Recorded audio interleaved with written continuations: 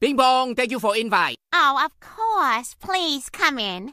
Hey, Brian, I bet he thinks you're what's for dinner. Come on, that's a racist stereotype. So, when do we eat dog? Ah, just kidding. As you are aware, Asians are known for their great sense of humor, and enormous genitalia, and respect for non-Asians, and for being polite. Now, give me big American food, you fat, ugly Kojak Bang Bang American fat sauce.